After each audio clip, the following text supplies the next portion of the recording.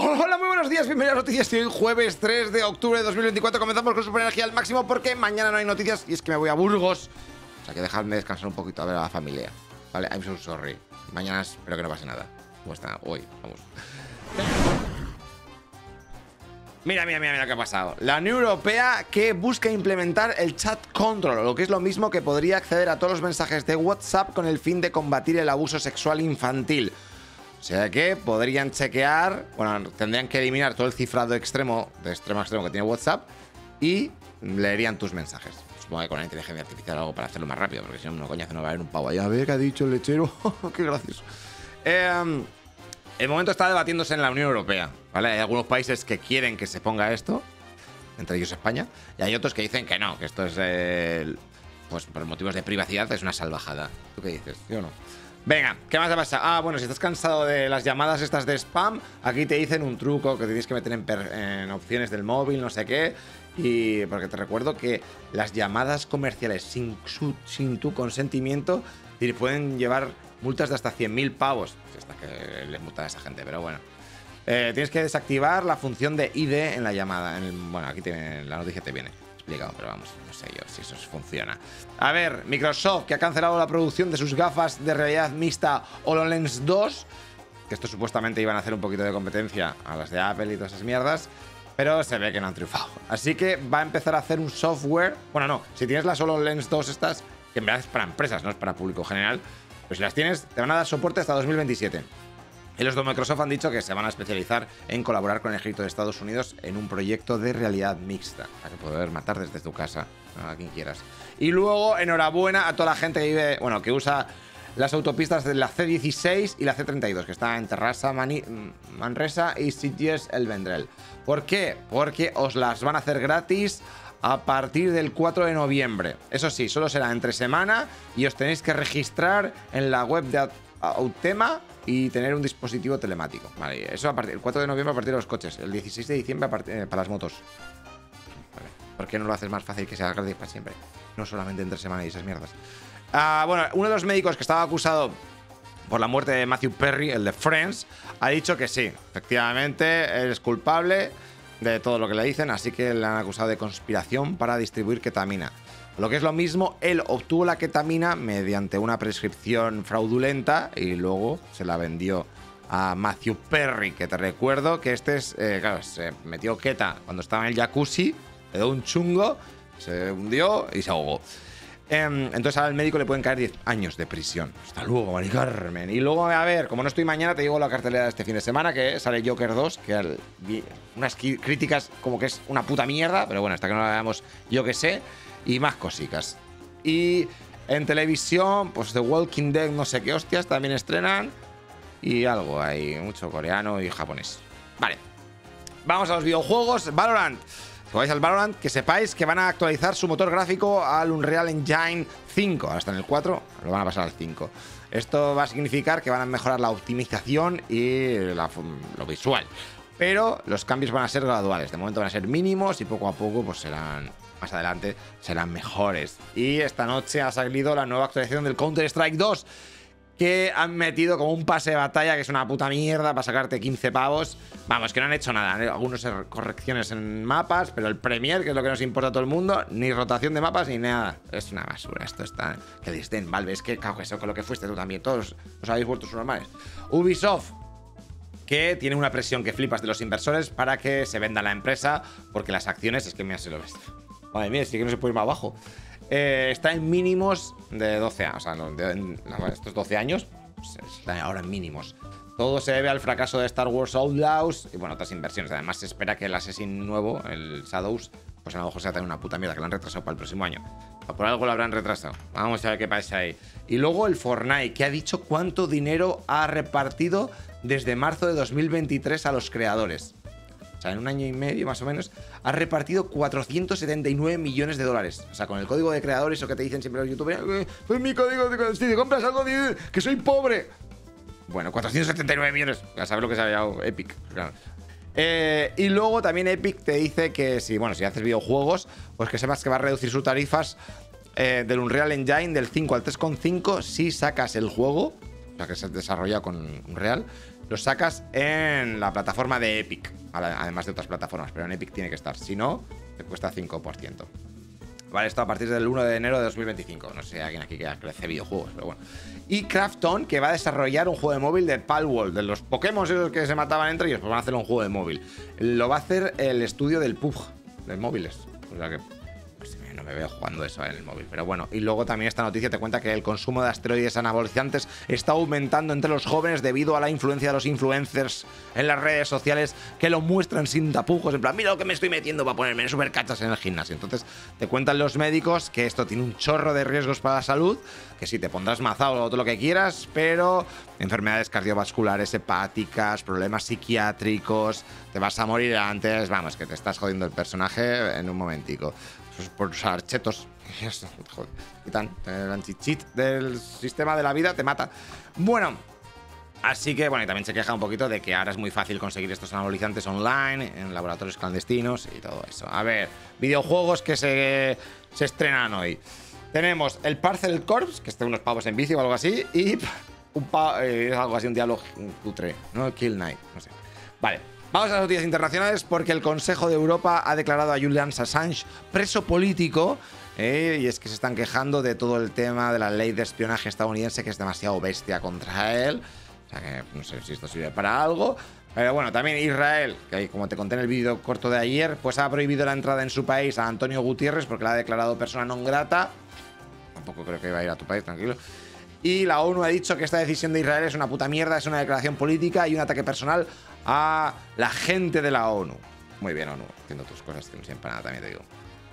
Ayer también hubo varias explosiones cerca de la embajada de Israel en Copenhague y han detenido a tres personas que pues se cree que lanzaron unas granadas, pero vamos, que explotaron a 100 metros de la embajada, o sea que esos son matados.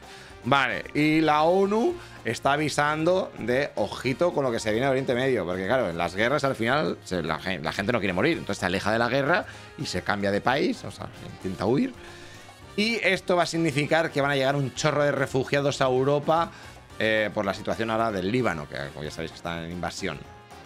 Así que, pues bueno, entonces está diciendo que por favor los países den dinero para eh, pues todo el tema de ayuda humanitaria de esa gente que está huyendo de la guerra. El Centro Carter, que ha presentado a la OEA, a la Organización de Estados Americanos, eh, pues los, las actas originales de las elecciones venezolanas en las que se demostraría que Edmundo González Urrutia es el ganador. O sea, mm, de hecho se tendría el 60% de los votos.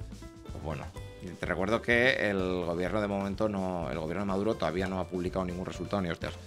Bueno, se han mostrado las actas, que es lo que al final tendría que haber hecho.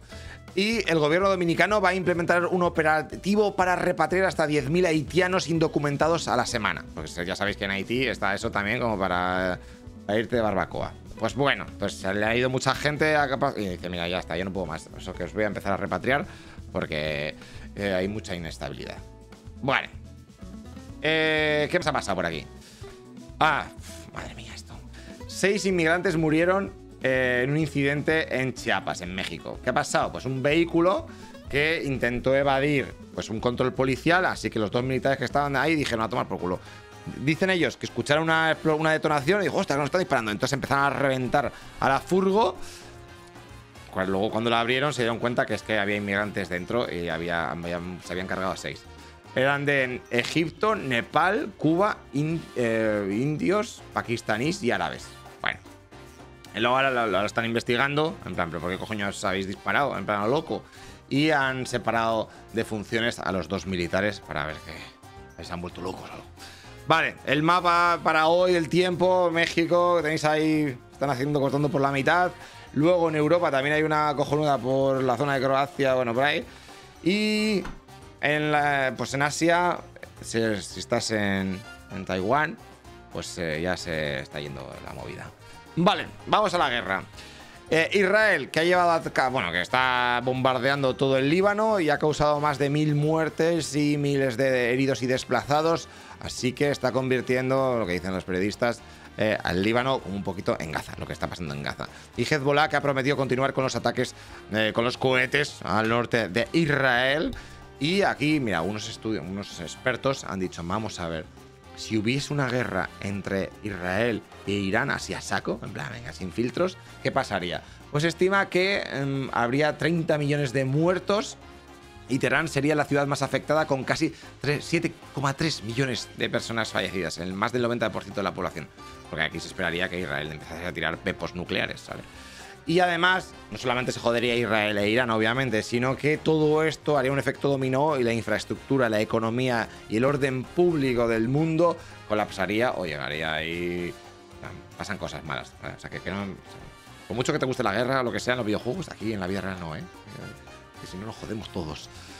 Bueno, y aquí esta noticia te cuenta un poquito todas las capas que tiene la cúpula de hierro, ¿vale? El domo de hierro, la onda de David, o sea, tiene varios sistemas. Si te viene un dron de mierda, Israel activa unos cohetes más pequeñicos para dar, para dar a esa gente. Luego, si no, si son más bestias, saca la onda de David que alcanza objetivos a mayor distancia y por último tiene el sistema Arrow que intercepta misiles a gran altitud, incluso fuera de la atmósfera. Eh, también te cuenta un poco la noticia, que esto es muy bonito, está guapísimo cuando venga Independence Day, pero que tiene un coste que flipas. Eh, porque cada cohete que lanzan son unos cuantos cientos de miles de euros. Vale, y el otro día, bueno, encontré esta gráfica está guapa, para una que hacen bien. Pues de 20 minutos ahí te viene un poquito la población, el armamento que tiene cada uno. Si lo quieres ver, pausas el vídeo y lo ves más detenidamente. Venga, eh, ayer te conté en el vídeo corto que Israel, bueno, que, jamás, no, que Hezbollah había dicho que había hecho una emboscada a las tropas de Israel y que se habían muerto varias personas, ¿no? Pues bueno, parece que sí que es verdad. Así que en esa emboscada por lo menos murieron 8 soldados de eh, Israel. Y claro, esto, esto contrarresta un poco porque al principio Israel decía, bah, si estamos entrando y no hay nadie, los de Hezbollah parece que se han pirado. se han pirado. Anda que. Bueno, Seguen estas zonas rayadas es donde están entrando los soldados israelíes, las muy rayadas, ¿vale? Las que están ahí al máximo, que no puedo llegar aquí, están las, las closed military. Y nada, todos los lugares por donde está sigue bombardeando Israel, en el Líbano. Además que tenemos un poquito de noticias de Ucrania y Palestina, pero no, o sea, de Ucrania y Rusia, pero no hay gran información. Así que te cuento lo que dicen los medios rusos, que un analista indica que el ataque de Irán a Israel que, pues, que es más importante de lo que se cree. ¿Por qué? Porque, mira, el, de hace unos meses tiraron drones y tal y casi todo lo reventó el escudo este, ¿no? Que tiene Israel. Pero el de ahora, como han entrado hasta dentro y han llegado a sus objetivos, eso demuestra que cuando quiera Irán puede hacer pupita a Israel, que se creía que estaba ahí súper seguro con su escudo chetao. ¿Vale? Entonces que es como un nuevo día para la región y el mundo, porque Irán ya tiene capacidad para atacar a su gran enemigo. Vale, aquí tenemos. Eh, esto sigue igual. O sea, esto sigue igual. O sea que pasamos. Vamos a España. A ver, que Pedro Sánchez ha contactado con Najib Mikati, que es el primer ministro del Líbano, para mostrarle su apoyo en esta crisis y ha pedido, Sánchez, un alto al fuego inmediato en Gaza y el Líbano. Además, España va a incrementar su ayuda humanitaria a toda la población libanesa. Te recuerdo que iban a llegar dos o tres aviones del ejército español para evacuar a todos los nacionalizados que se quieran pirar del Líbano. Y Ojo, esto también me flipa, tú. ¿Por qué los funcionarios tienen una aseguradora privada de, sanidad? O sea, nunca lo he entendido eso. ¿Me lo podéis explicar? A lo mejor tiene un sentido, pero tampoco me he puesto a buscarlo. A ver, las aseguradoras Adesla, Asisa y DKV rechazan la propuesta del gobierno para eh, el concierto de Mufase. Mufase. Eh, para considerar. Porque consideran insuficiente. A ver, vamos a ver. O sea, yo voy a. Esto es un poco difícil de explicar, pero bueno. Los, los funcionarios tienen una aseguradora privada, ¿no? Cuando se ponen enfermos van a un sitio especial, ¿no? En vez de ir al hospital como todo el mundo, ¿no? Supongo que es algo así. Entonces, Muface está diciendo, vale, me parece estupendo que tenga esta gente esto, pero me tienes que pagar más gobierno para que tengan el seguro privado. Entonces, eh, el gobierno ha dicho, vale, te lo subo un 14%. Dice, no, no, yo quiero un 40% por lo menos.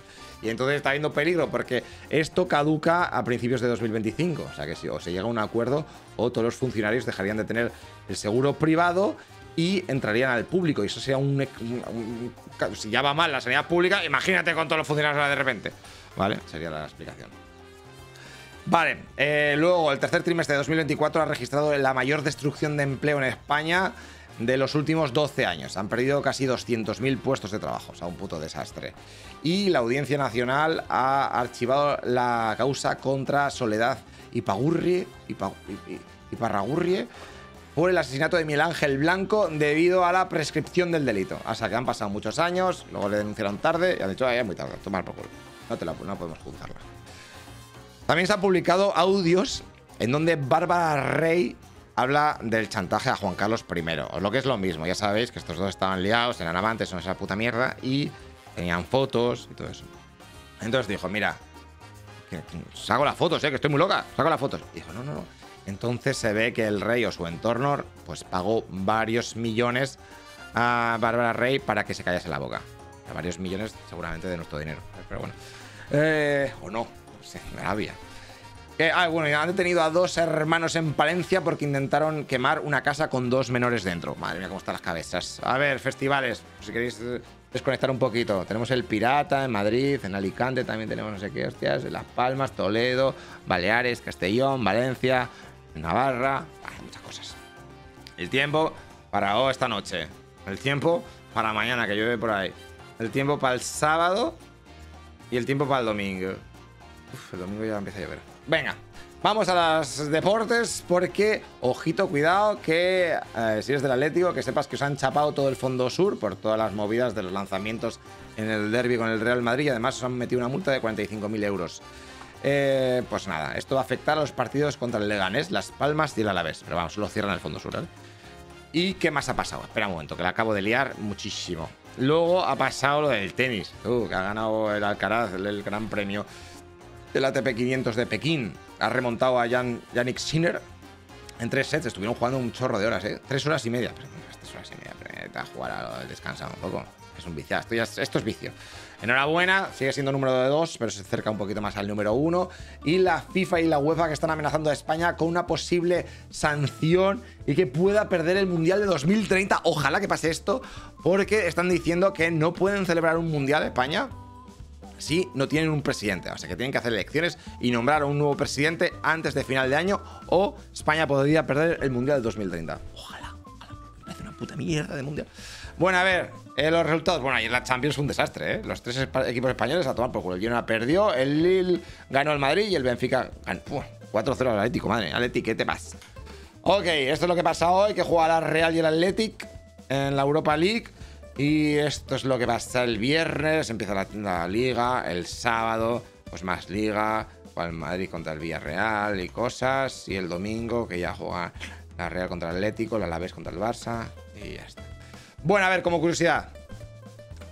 A ver, esto es el porcentaje, la frecuencia de porcentaje de peña que es pelirroja. O sea, mira, aquí están ahí todos yonkis. En España no hay casi pelirrojos, así que la moraleja es, tío, si ves a un pelirrojo, trátalo bien, tío, que es un Pokémon raro. Hay que cuidarlos, son tomajos. Tienen la piel to blanquita, son muy raros, la verdad. El hombre. Vale, y luego yo me voy a Burgos, que chaval, no sé si lo sabéis, pero es el Burgos Ciudadano ciudadano este que hacen así del Cid, de esto medieval. O sea que si queréis venir a Burgos, a lo mejor me veis por la calle andando así. Normalmente no voy con el gorro, o sea que va a ser un poco difícil.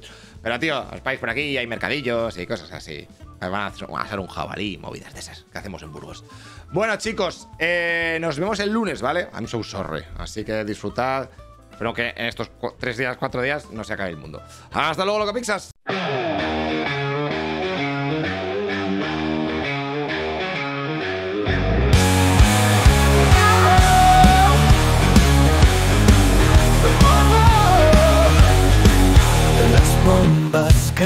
El mundo en llamas, el cielo arde, no queda calma, las sombras crecen, la guerra llama y el miedo corre por nuestras almas. El horizonte se oscurece más, no hay respuesta, solo caos total y en las calles se oye gritar. Oh, oh, oh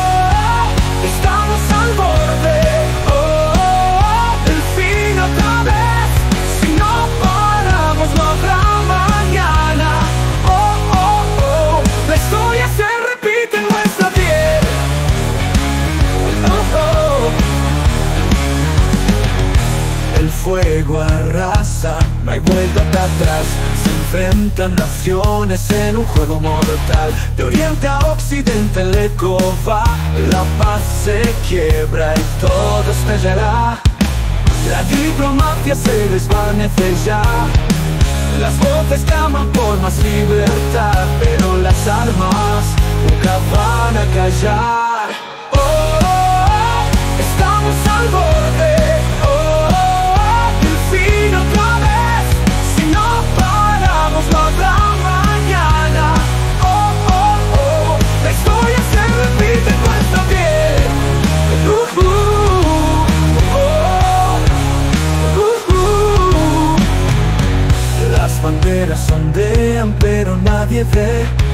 Final todos